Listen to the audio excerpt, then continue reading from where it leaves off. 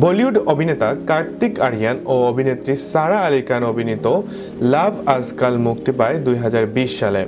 Cinema হলে চূড়ান্ত ব্যর্থ হয় ছবিটি।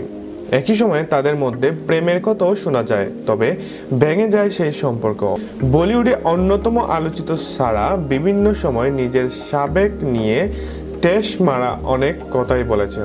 অবশেষে নিজের ব্রেকআপ নিয়েও মুখ খুললেন নবাব কন্যা। খবর আনন্দবাজারের। সারা জানান দুই হাজার বিশ সাল তার জন্য এক ভয়ঙ্কর বছর। সালটা দেখে দুয়ে দুয়ে চার করে নিয়েছেন অনেকেই। নাম প্রকাশ না করে সারা আসলেই কার্তিকের সঙ্গে চারাচারি কথাই বলছেন। সারা আরও বলেন, কেদারনাথ সিম্বার পর আমার ওপর সবার প্রত্যাশা অনেক বেড়ে গিয়েছিল। ফলে একটা চাপ ছিল। এই ছবিগুলোর পর প্রশংসা পেয়েছি। তারপর দুটো ছবিতে খারাপ অভিনয় করায় সবাই বলতে শুরু করল, এটাই আসল সারা।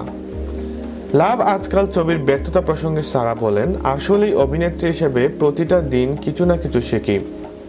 আর এই শেখার চেষ্টাই প্রতিনিয়ত করি। আমি এমন অনেক ছবি করেছি, যেখানে দর্শক আমাকে পছন্দ করেননি। কিন্তু ভুল করার এটাই তো বয়স আমার।